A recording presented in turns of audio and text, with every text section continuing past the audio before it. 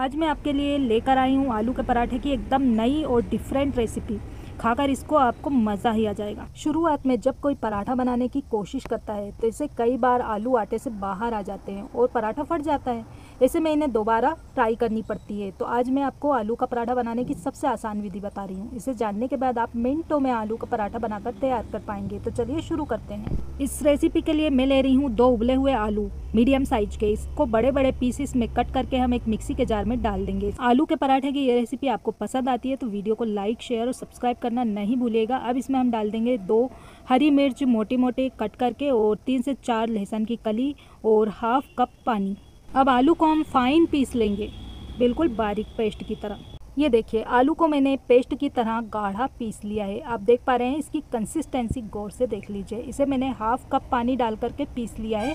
बीच में बिल्कुल भी ज़रूरत पेश नहीं आई इसमें एक्स्ट्रा पानी डालने की। अब इस पेस्ट को हम एक मिक्सिंग बाउल में पलट लेते हैं।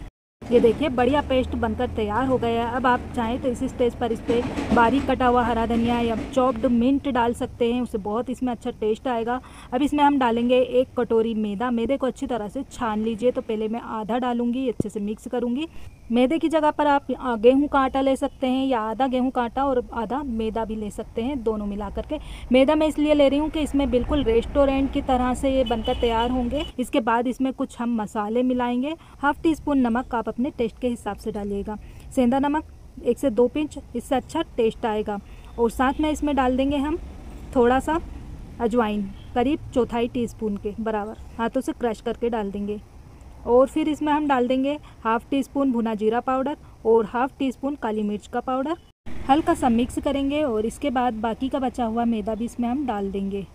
और इसे आप खूब अच्छी तरह से हम मिक्स कर देंगे। तो अब चम्मच को हटा लीजिए और हाथों से इसे खूब अच्छी तरह से मिक्स करते हुए चिपचिपा आटा गूंद लीजिए। इसका आटा जो है बहुत ज़्यादा टाइट नहीं होना चाहिए, बहुत ज़्यादा लूज़ नहीं। एक चिपचिपा स्टिकी डो जो लगाते हैं ना हम जस्ट उसी तरह से होना चाहिए। बारिश के मौसम में और सर्दियों में आलू के पराठे बहुत अच्छे लगते हैं और इन दिनों आलू भी बहुत अच्छे बाज़ार में मिल जाते हैं। मुझे तो भाई आलू के पराठे बहुत ही अच्छे लगते हैं। आप सब में से किस किस को आलू के पराठे बहुत अच्छे लगते हैं, कमेंट करके मुझे ज़रूर बताइएगा। अब आटे को हम 10 मिनट के लिए कवर करके सेट होने के लिए छोड़ देंगे।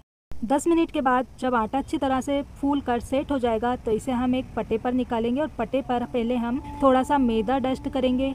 और अब आटे को दोबारा से मसल मसल के अच्छा चिकना कर लेंगे। जब ये अच्छी तरह से चिकना हो जाएगा तो इसे हम दो भागों में चाकू से डिवाइड कर लेंगे। अब एक पीस उठा करके इसकी हम बड़ी और गोल लोई बना लेंगे। इसी तरह से दूसरी लोई भी बनाकर तैयार कर लेंगे। अब पटे पर दोबारा से थोड़ा सा मैदा डस्ट कीजिए और एक लोई लेकर इसकी हल्की सी मोटी और बड़ी गोल रोटी बेल करके तैयार कर लीजिए। रोटी बना लेने के बाद इसके ऊपर एक टीस्पून तेल डाल करके पूरी रोटी पर अच्छी तरह से फैला लीजिए। इसकी जगह पर आप देसी घी या बटर को मेल्ट करके ले सकते हैं। और बटर और घी के बगैर भी ये बहुत टेस्टी बनकर तैयार होगा। अब इसके ऊपर हम थोड़ी सी लाल मिर्च पाउडर स्प्रिंकल करेंगे और एक सिरे से रोटी को उठाकर बीचों बीच ऐसे फोल्ड कर लेंगे सेंटर में। दूसरा सिरा उठाएँगे और इसे भी बीच सेंटर में इस तरह से फोल्ड कर दीजिए। अब जो ये दोनों आजू बाजू के सिरे हैं, ये लेकर के इन्हें भी इसी तरह से बीचों बीच फोल्ड कीजिए और फिर दूसरे सिरे को उठा करके इसके ऊपर फोल्ड कर दीजिए। इसे चौकोर आयत बनकर तैयार हो गई है। अब इस पर थोड़ा सा मैदा डस्ट कीजिए, इसे एक साइड पर रख लीजिए।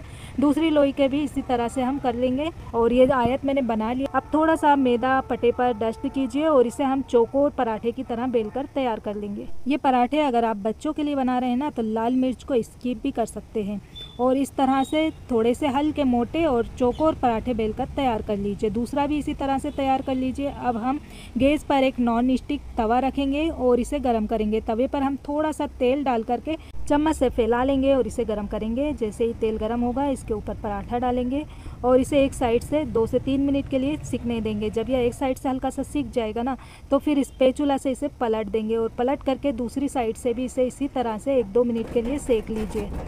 आँच को धीमा कर दीजिए और हल्का सा स्पेचुला से इस तरह से हम प्रेस करते हुए इसे अलट पलट करके सेकेंगे। पराठे को जब स्पेचुला से इसे प्रेस करके सेकेंगे तो आप देखेंगे ये हल्का हल्का फूलने लगा है। ये देखिए, अब इसके ऊपर हम एक चम्मच तेल डालेंगे और इसे पलट करके एक साइड से फ्राई कर लेंगे। जब ये एक साइड से फ्राई हो जाएगा ना तो हम इसके दूसरी साइड भी तेल डालेंगे और इसे दूसरी साइड से भी बढ़िया क्रिस्पी करार होने तक फ्राई कर लेंगे।